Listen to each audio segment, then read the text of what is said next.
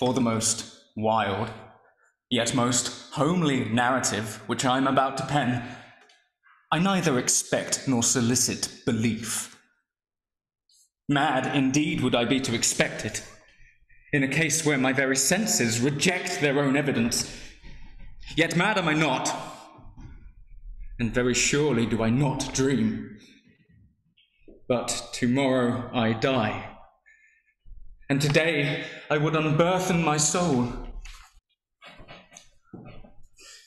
My immediate purpose is to place before the world, plainly, succinctly, and without comment, a series of mere household events. In their consequences, these events have terrified, have tortured, have destroyed me. Yet I will not attempt to expound them. To me, they have presented little but horror. To many, they will seem less terrible than barroques. Hereafter, perhaps, some intellect may be found which will reduce my phantasm to the commonplace. Some intellect more calm, more logical, and far less excitable than my own, which will perceive, in the circumstances I detail with awe, Nothing more than an ordinary succession of very natural causes and effects.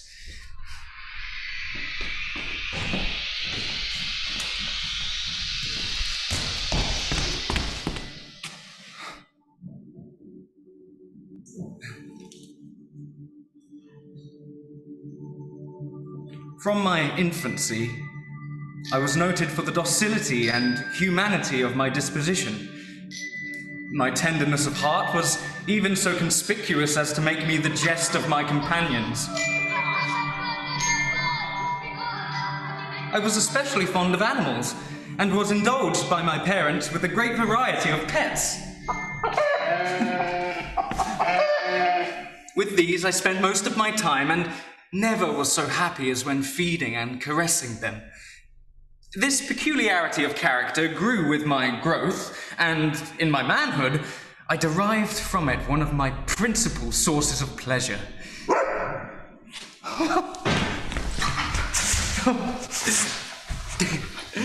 To those who have cherished an affection for a faithful and sagacious dog, I need hardly be, be at the trouble of explaining the, the nature or the intensity of the gratification thus derivable. There is something in the unselfish and self sacrificing love of a brute which goes directly to the heart of him who has had frequent occasion to test the paltry friendship and gossamer fidelity of mere man. It's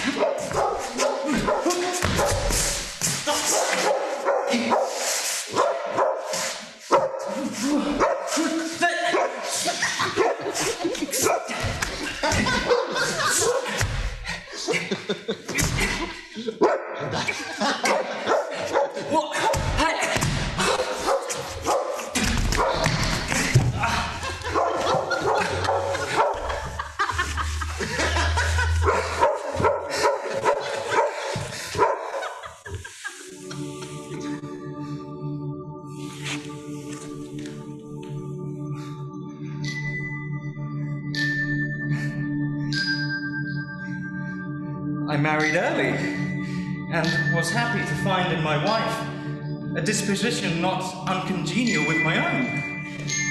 Observing my partiality for domestic pets, she lost no opportunity of procuring those of the most agreeable kind. We had birds, goldfish, a fine dog, rabbits, a small monkey, and a cat.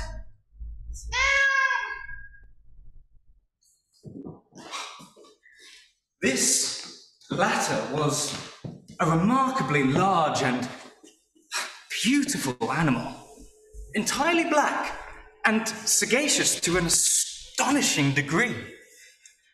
In speaking of his intelligence, my wife, who at heart was not a little tinctured with superstition, made frequent allusion to the ancient popular notion All black cats are witches in disguise.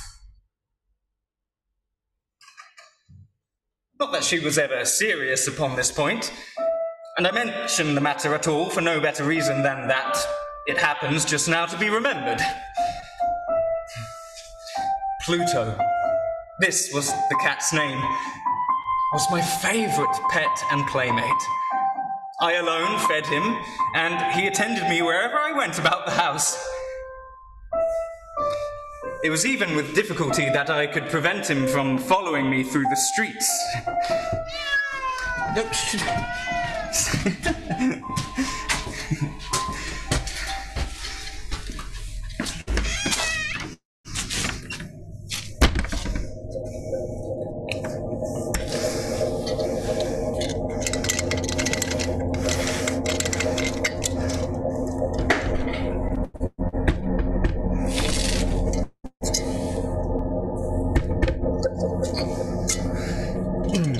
friendship lasted in this manner for several years, during which my general temperament and character, through the instrumentality of the fiend intemperance, had, I blush to confess it, experienced a radical alteration for the worse. I grew day by day more moody, more irritable, more regardless of the feelings of others. I suffered myself to use intemperate language to my wife. At length, I. I even offered her personal violence. My pets, of course, were made to feel the change in my disposition. I not only neglected, but ill used them. For Pluto, however, I still retained sufficient regard to restrain me from maltreating him as I made no scruple of maltreating the rabbits, the monkey, or even the dog when, by accident or through affection, they came in my way. But my disease grew upon me. For what disease is like alcohol? And at length, even Pluto, who was now becoming old and consequently somewhat peevish,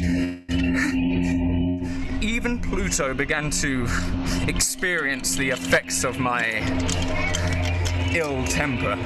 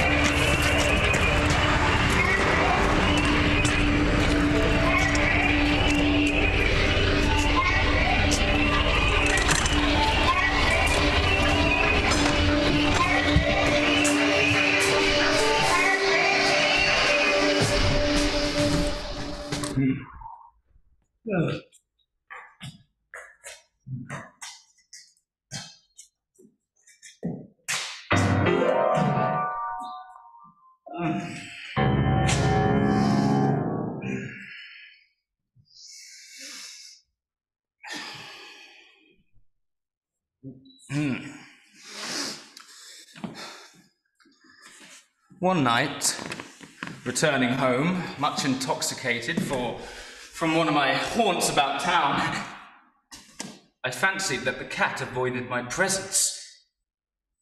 I seized him when, when at his fright at my violence, he inflicted a slight wound upon my hand with his teeth. The fury of a demon instantly possessed me. I knew myself no longer. My original soul seemed at once to take its flight from my body, and a more than fiendish malevolence, gin nurtured, thrilled every fiber of my frame.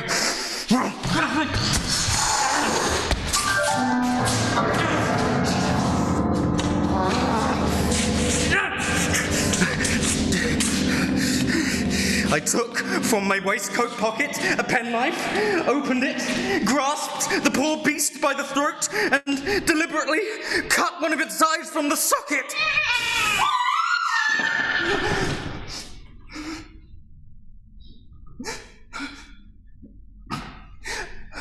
I blush.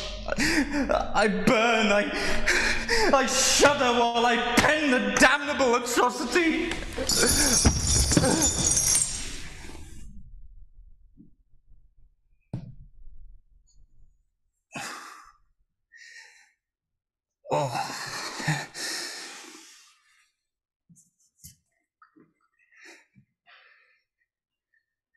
when reason returned with the morning,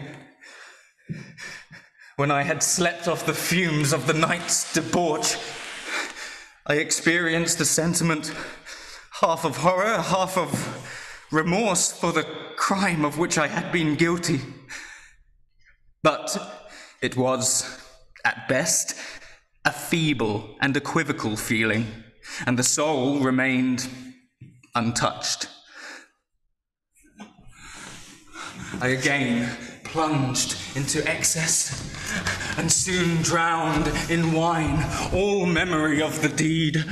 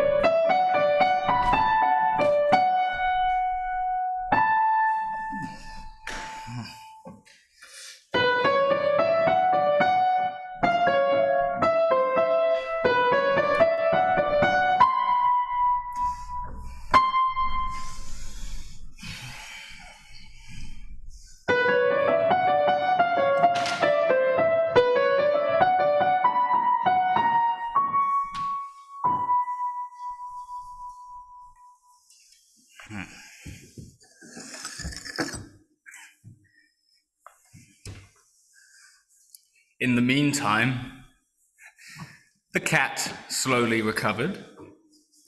The socket of the lost eye presented, it is true, a frightful appearance, but he no longer appeared to suffer any pain.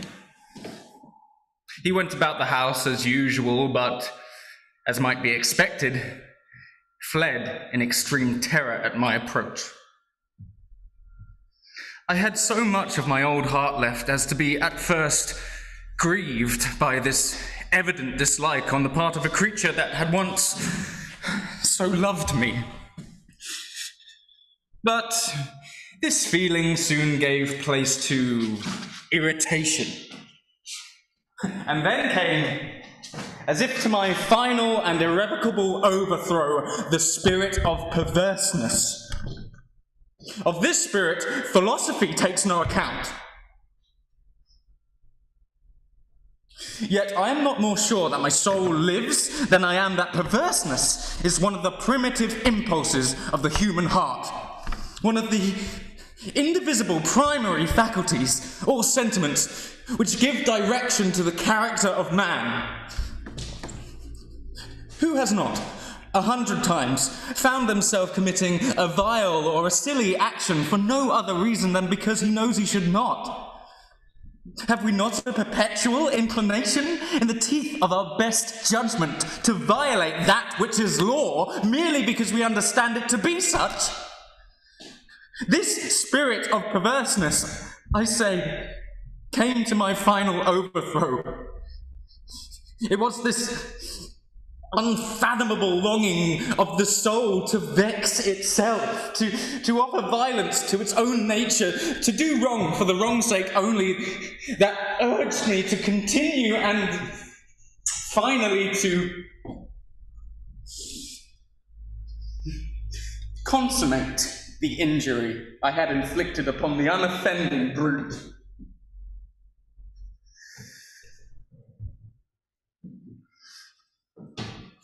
one morning, in cold blood,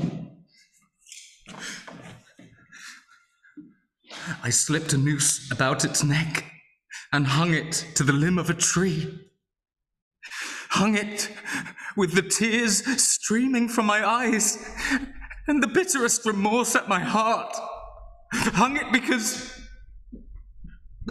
I knew that it had loved me, and because I felt it had given me no reason of offense, hung it because I knew that in so doing, I was committing a sin, a deadly sin that would so jeopardize my immortal soul, as if to place it, if such a thing were possible, even beyond the reach of the infinite mercy of the most merciful and most terrible God.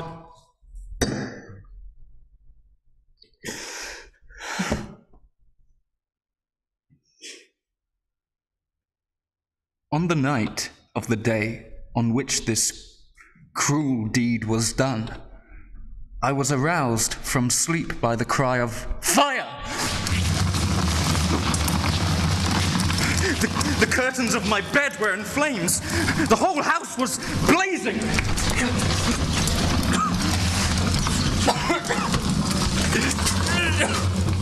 It was with great difficulty that my wife, a servant, and myself made our escape from the conflagration.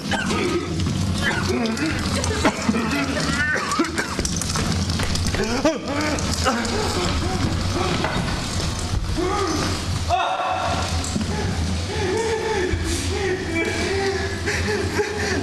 destruction was complete.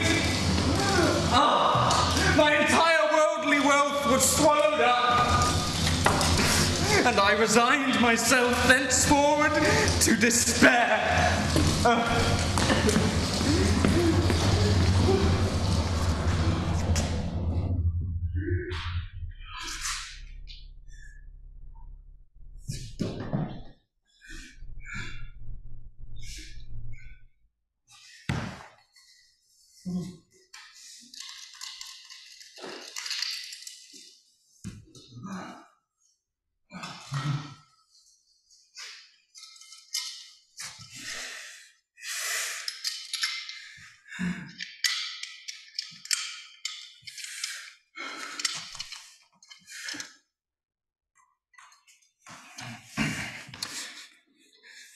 am above the weakness of seeking to establish a sequence of cause and effect between the disaster and the atrocity. But I am detailing a chain of facts and wish not to leave even a possible link imperfect. On the day succeeding the fire, I visited the ruins. The walls, with one exception, had fallen in. This exception was found in a compartment wall, not very thick, which stood about the middle of the house and against which had rested the head of my bed. The plastering had here, in great measure, resisted the action of the fire, a fact which I attributed to its having been recently spread. About this wall, dense crowd were collected, and, and many persons seemed to be examining a particular portion of it with very minute and eager attention. The words strange, singular, and, and other similar expressions excited my curiosity. I approached and saw, as if graven in, in bas relief upon the white surface a figure of a gigantic cat. The impression was given with an accuracy truly marvelous. There was a rope around the animal's neck.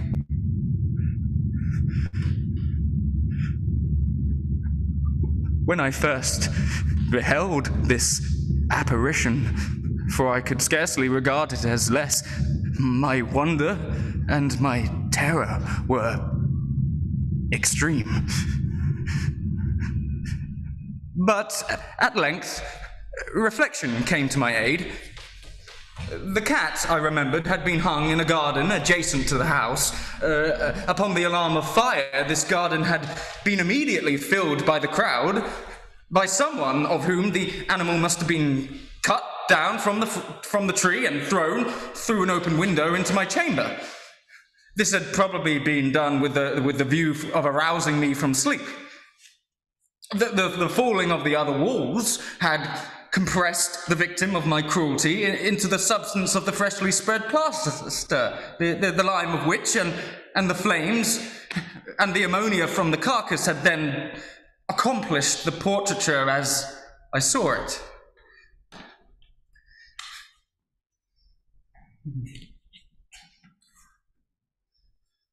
Although I thus readily accounted to my reason, if not altogether to my conscience, for the startling fact just detailed, it did not the less fail to make a deep impression upon my fancy. For months I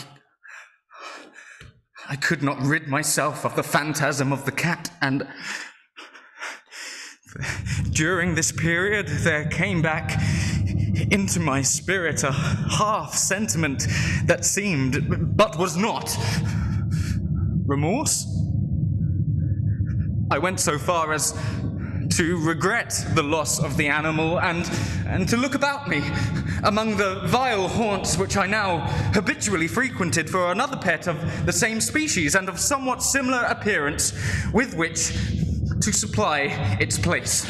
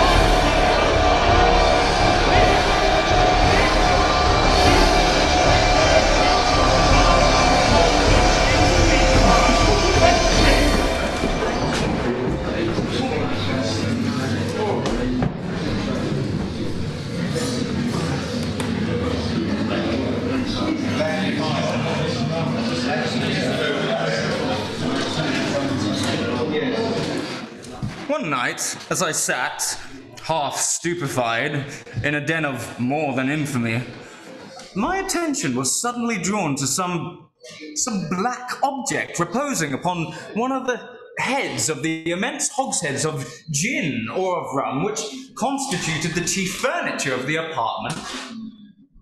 I had been looking steadily at the top of this hogshead for some minutes, and and what now caused me surprise was the fact that I had not sooner perceived the object thereupon.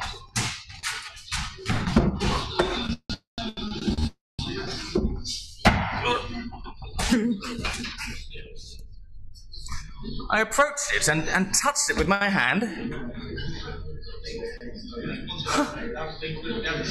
It was a black cat. A very large one fully as large as Pluto, and closely resembling him in every respect but one. Pluto had not a white hair upon any portion of his body, but this cat had a, a large, although indefinite, spots of white covering nearly the whole region of the breast. Upon my touching him, he, he immediately arose, purred loudly, rubbed against my hand, and, and appeared delighted with my notice. This, then, was the very creature of which I am in search. Oh.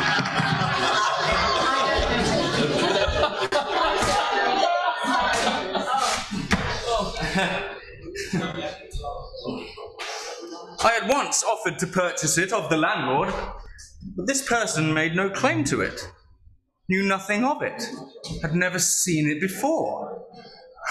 I continued my caresses, and, and when I prepared to go home, the animal evinced a disposition to accompany me.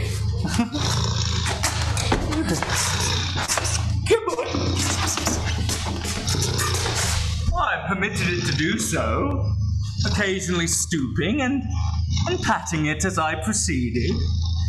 This way, this way. Come on. Come on. Come on. Come on. Come on. Come on. This way, come on.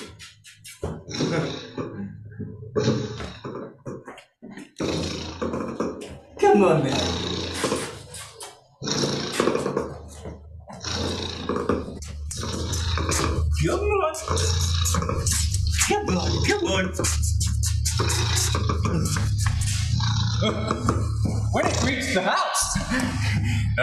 domesticated itself at once and became immediately a great favorite with my wife.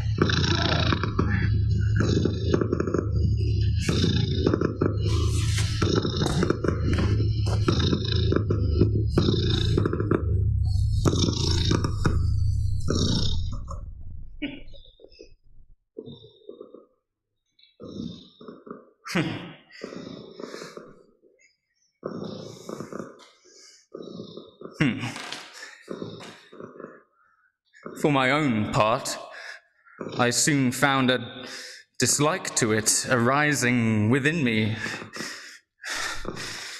This was just the reverse of what I had anticipated, but I know not how or why it was. Its evident fondness for myself rather disgusted and annoyed. By slow degrees, these feelings of disgust and annoyance rose to the bitterness of hatred. I avoided the creature, a, a, a, certain sense of shame and the remembrance of my former deed of cruelty from preventing me from physically abusing it. I did not, for some weeks, strike or otherwise violently ill use it, but gradually, very gradually, I came to look upon it with an unutterable loathing and to flee silently from its odious presence as from the, the breath of a pestilence. What added, no doubt, to my hatred of, of the beast was the, the discovery on the morning after I brought it home that, like Pluto, it also had been deprived of one of its eyes.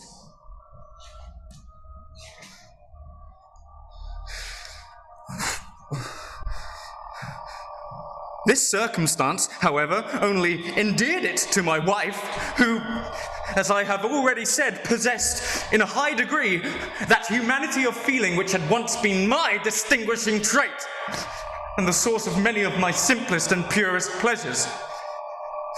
With my aversion to this cat, however, its partiality for myself seemed to increase, it followed my footsteps with a, with a pertinacity which it would be difficult to make the reader comprehend.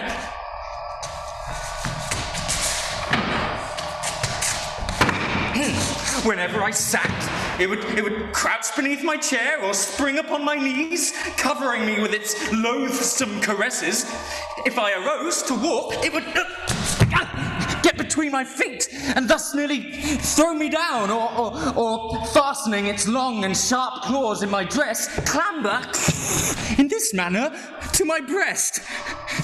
At such times, although I longed to destroy it with a blow, I was yet withheld from so doing, partly by a memory of my former crime, but chiefly let me confess it at once. By absolute dread of the beast.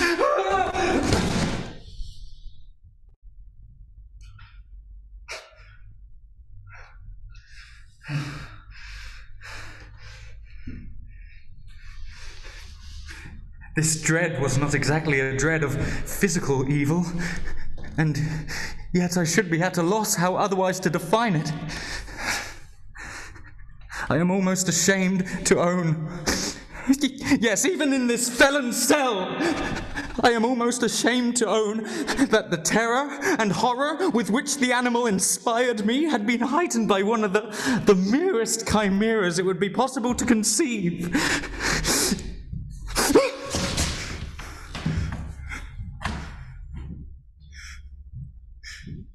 My wife had called my attention more than once to the the character of of the mark of the white hair of, of which I have spoken and which constituted the sole visible difference between the strange beast and, and the one I had destroyed.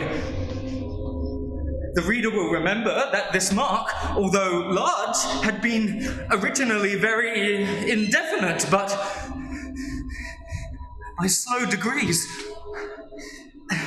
degrees nearly, nearly imperceptible, and, and for a long time, my reason struggled to reject as, as fanciful.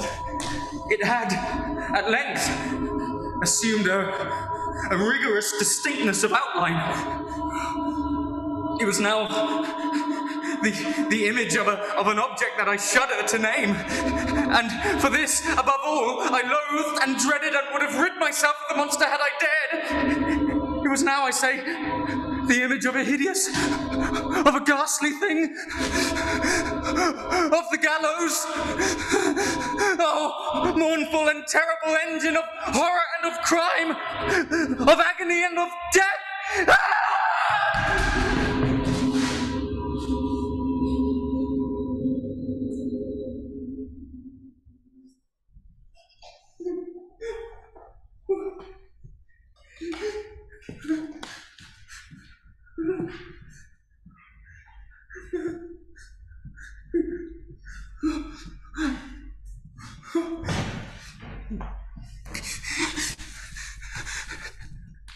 And now was I indeed wretched beyond the wretchedness of mere humanity, and a brute beast to work out for me, whose fellow I had contemptuously destroyed, a brute beast to work out for me, for me, a man fashioned in the image of the high God, so much insufferable woe Alas, neither by day nor by night knew I the blessing of rest any more. During the former, the creature left me no moment alone, and in the latter, I started hourly from dreams of unutterable fear to find the hot breath of the thing upon my face and its vast weight, an incarnate nightmare that I had no power to shake off, incumbent eternally upon my heart.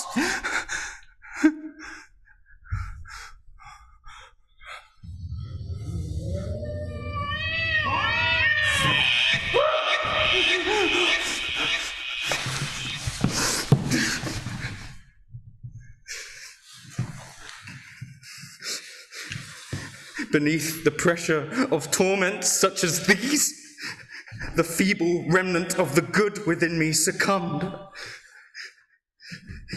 Evil thoughts became my sole intimate, the darkest and most evil of thoughts. The moodiness of my usual temper increased to a hatred of all things and of all mankind.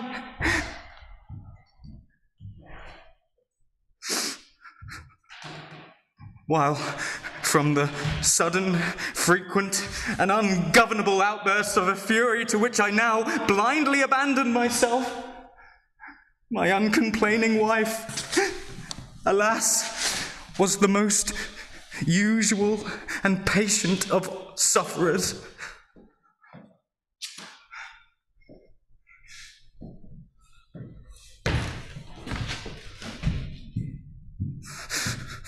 One day, she accompanied me upon some household errand into the cellar of the old building which our poverty compelled us to inhabit.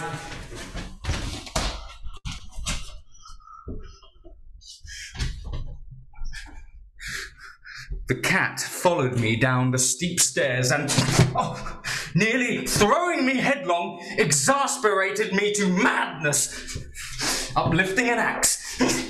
and forgetting in my wrath the childish dread which had hitherto stayed my hand, I aimed a blow at the animal, which, of course, would have proven instantly fatal had it descended as I wished. But this blow was arrested by the hand of my wife. Goaded by the interference into a rage more than demoniacal, I withdrew my arm from her grasp and buried the axe in her brain.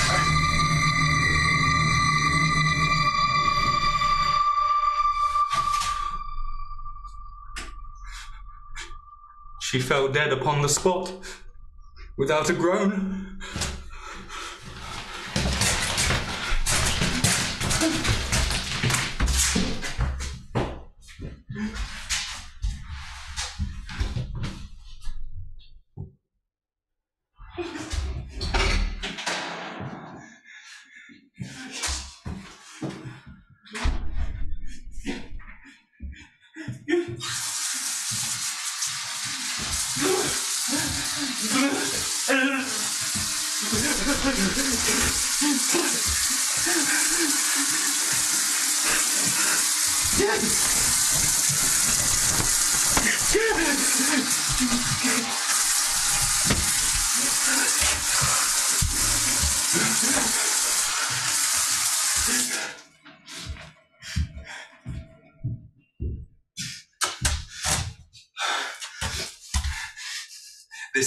hideous murder accomplished, I set myself forthwith, and with entire deliberation, to the task of concealing the body.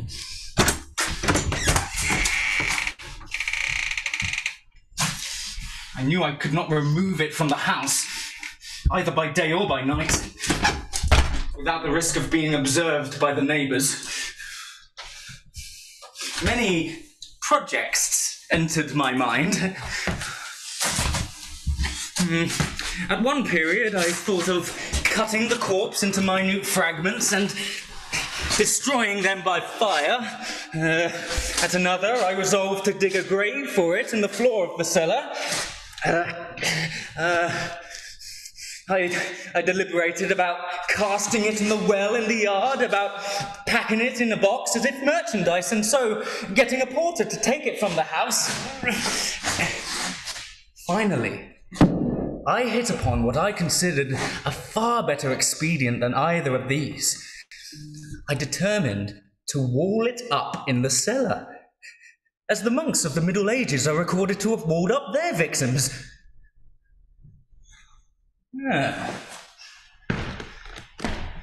For a purpose such as this, the cellar was well adapted its walls were loosely constructed and had lately been plastered throughout with a, with a rough plaster which the dampness of the atmosphere had prevented from hardening.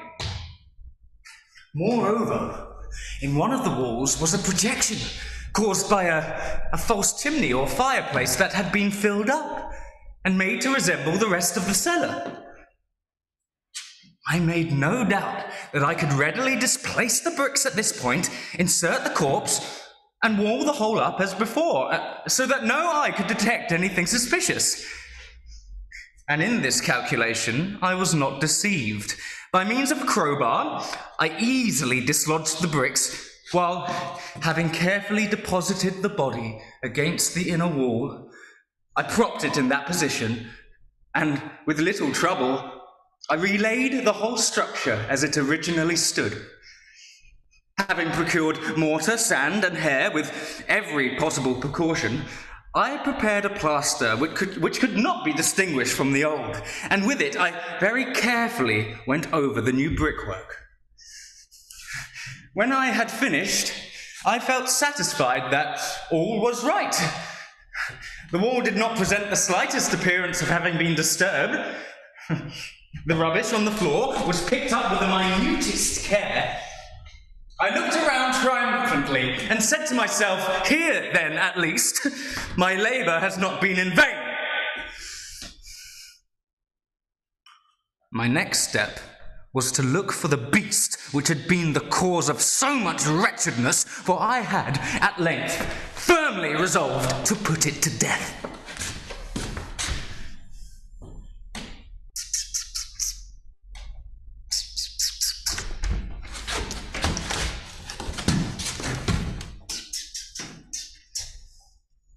Had I been able to meet with it at that moment, there could have been no doubt of its fate. But it appeared that the crafty animal had been alarmed at the violence of my previous anger and forbore to present itself in my present mood. it is impossible to describe or to imagine the deep, the, the blissful sense of relief which the absence of the, de- the detested creature occasioned in my bosom. It did not make its appearance during the night, and thus, for one night at least, I soundly and tranquilly slept. I slept even with the burden of murder upon my soul.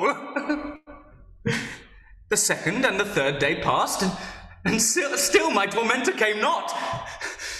Once again, I breathed as a free man. The monster in terror had fled the premises forever. I should behold it no more. My happiness was supreme. the guilt of my dark deed disturbed me but little. Some few inquiries had been made, but these had been readily answered. Even a search had been instituted, but of course, Nothing was to be discovered. I looked upon my future facility as secure.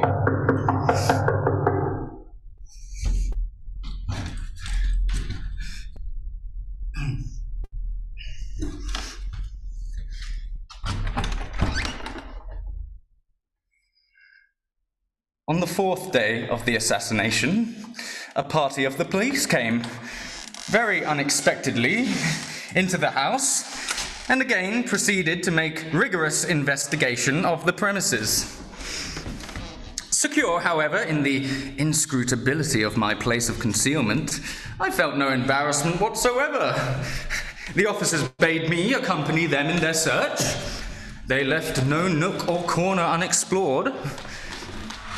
At length, for the third or fourth time, they descended into the cellar. I quivered not in a muscle. My heart beat calmly as that of one who slumbers in innocence. I walked the cellar from end to end. I folded my arms upon my bosom and roamed easily to and fro. The police were thoroughly satisfied and prepared to depart.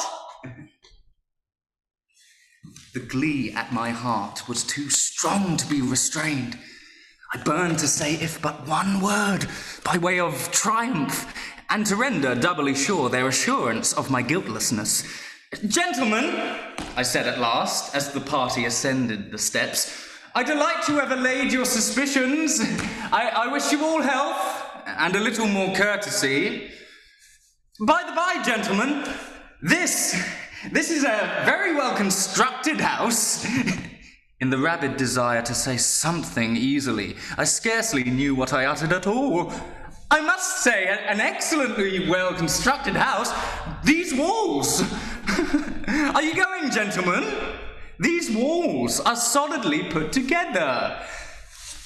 And here, through the mere frenzy of bravado, I rapped heavily with the cane which I held in my hand upon that very portion of the brickwork behind which stood the corpse of the wife of my bosom.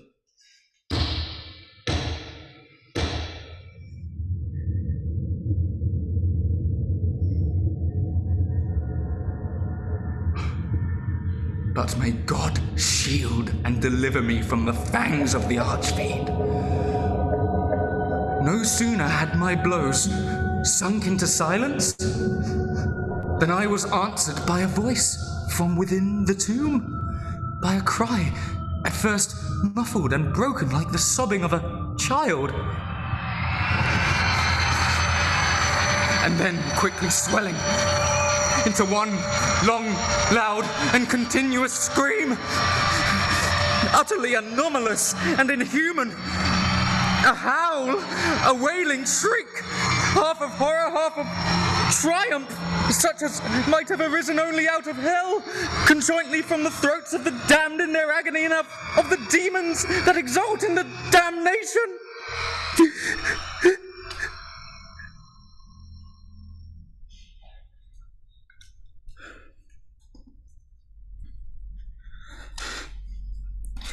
of my own thoughts?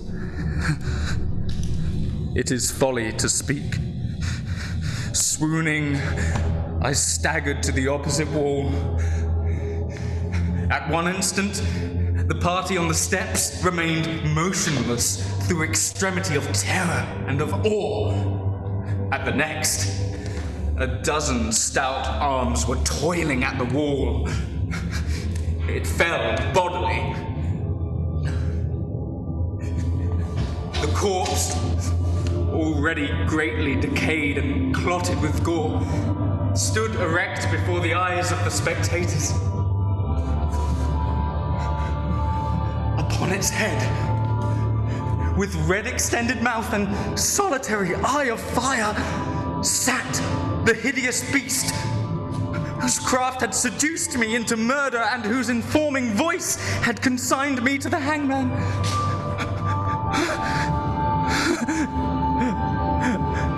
They had walled the monster up within the tomb.